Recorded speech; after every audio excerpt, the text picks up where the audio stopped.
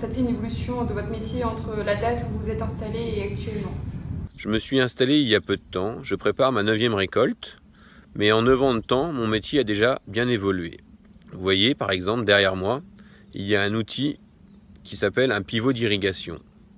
Avant, je le mettais en route et il arrosait les cultures. Demain, avec les nouvelles technologies, il pourra moduler la dose d'irrigation en fonction du stade de la culture ou de la différentes zones de la parcelle.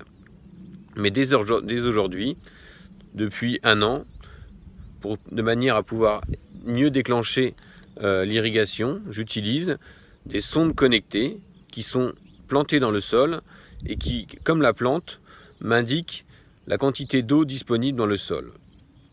Ces sondes sont reliées directement à mon téléphone portable, ainsi qu'une station météo qui me permet de piloter au mieux l'utilisation de l'irrigation. Je suis persuadé que grâce aux nouvelles technologies notamment, cela va faire évoluer mon métier.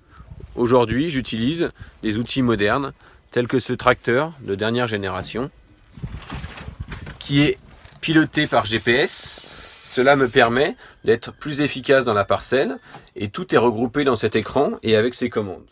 Et j'utilise également aussi ce genre de petit outil, un drone, qui me permet de pouvoir prendre en compte les évolutions de ma parcelle, de prendre en compte également les différents types de sols de ma parcelle de manière à pouvoir faire des cartes de rendement ou même des cartes de fertilisation de ce type qui me permettent d'être plus efficace avec et de me permettre également d'atteindre mon objectif, à savoir d'apporter la bonne dose au bon endroit et au bon moment de manière à ne pas polluer, de toujours faire un aliment sain, de qualité et en grande quantité. Voilà, j'espère que ces éléments ont pu permettre de répondre à votre question. À bientôt